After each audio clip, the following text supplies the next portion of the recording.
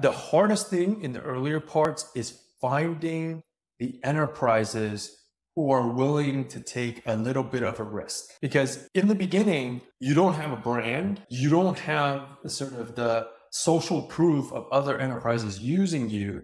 So a lot of that is networking, right? And, and finding kind of somebody who's willing to raise their hand and stick their necks out. Because enterprise is a little bit more risk averse in general. They're not going to just turn on a piece of software and it just start buying it without some structured evaluation. So somebody actually has to raise their hand and say, look, I really believe in this thing. And then they're going to have to kind of work through their organization and advocate for your solution in order for you to get through procurement. Because the way enterprises buy, they're typically not buying just on a credit card. They're typically buying through a procurement process where there are multiple checkpoints. There's they have to get buy-in from their boss. There has to be budget from finance. There has to be security audit. There has to be going through certain kind of compliance reviews in some cases, IT, IT reviews, if it, it's touching some internal systems. And so all these aspects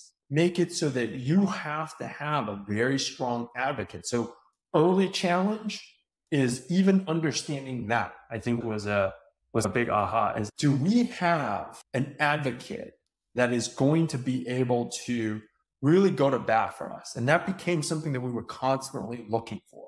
How do we get these folks that are going to be advocates for us? And then once we have advocates, how do we equip them so they can easily make the case?